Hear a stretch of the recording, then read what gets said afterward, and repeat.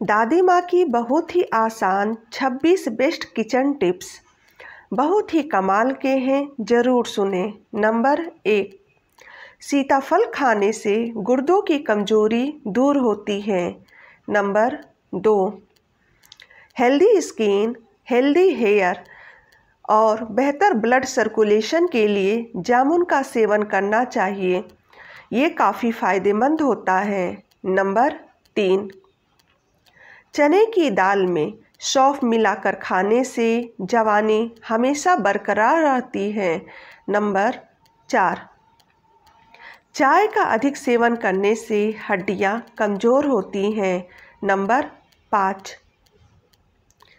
पान का पत्ता खांसी और कफ की समस्या में लाभदायक होता है। नंबर छः। हफ़्ते में एक बार नारियल का पानी ज़रूर पिए। इससे शरीर गोरा होता है। नंबर सात। भैंस का कच्चा दूध पीने से आपको कभी भी कमर दर्द की समस्या नहीं होगी। नंबर आठ। पत्ता गोभी खाने से खून की कमी दूर होती है। नंबर नौ। बथुआ का सेवन करने से दांत और मसूड़ों की बीमारी ठीक होती है। नंबर दस। संतरा खाने से जोड़ों के दर्द में राहत मिलती है। नंबर ग्यारह। तुलसी का नियमित सेवन आलस्य को दूर करता है। नंबर बारह। नहाने के बाद कानों के पीछे तेल लगाने से दिमाग तेज होता है। नंबर तेरह।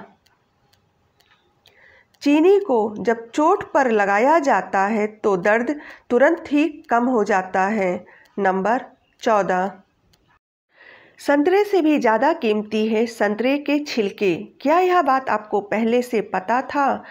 अगर नहीं पता था तो चलिए मैं आज आपको बताती हूँ।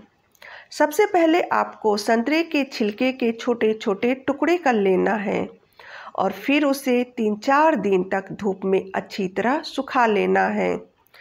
जब यह सूख कर कड़क हो जाए, यानी कि अच्छे से सूख जाए, तब आपको लेना है एक मिक्सर ग्राइंडर।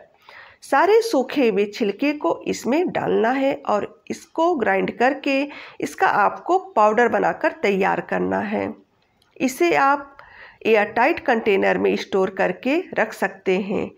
यह साल भर तक भी खराब नहीं होगा। आप इसे गुलाब जल या दूध में मिलाकर स्क्रब या फेस पैक की तरह लगाएँ। बहुत ही फ़ायदेमंद होता है ये। नंबर पंद्रह, अमरूद खाने से स्तन कैंसर से बचाव होता है। नंबर सोलह, करेले का जूस पीने से आँखों की रोशनी बढ़ती है। नंबर सत्रह। चाय के साथ हल्दी खाने से इंसान की मृत्यु भी हो सकती है।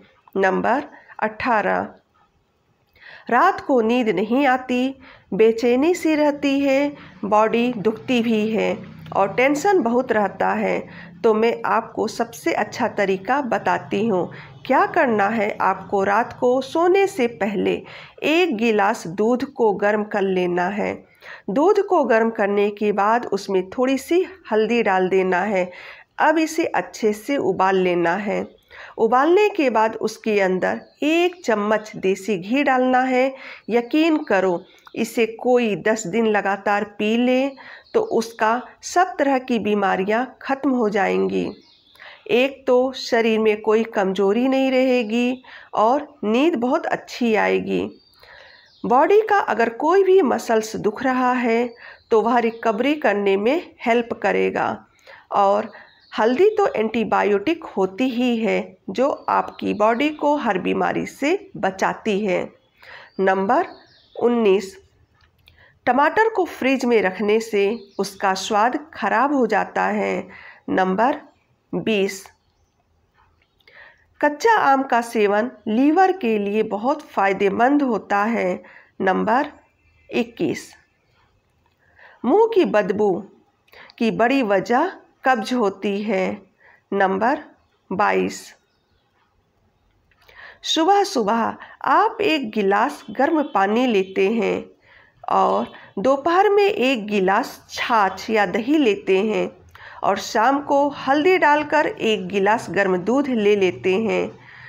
तो मैं गारंटी के साथ कह सकती हूँ कि आपका एक रुपया भी अस्पताल में खर्च नहीं होगा। नंबर तेईस। उड़द की दाल को पीसकर हड्डी के दर्द में लगाने से बहुत आराम मिलता है। नंबर चौबीस। शहद का इस्तेमाल करने से दिमागी कमज़ोरी दूर होती है। नंबर पच्चीस। पपीते के छिलके रगड़ने से जले हुए दाग का निशान धीरे धीरे मिटने लगता है। नंबर छब्बीस। अजवाइन पेट के दर्द में बेहद फ़ायदेमंद होता है।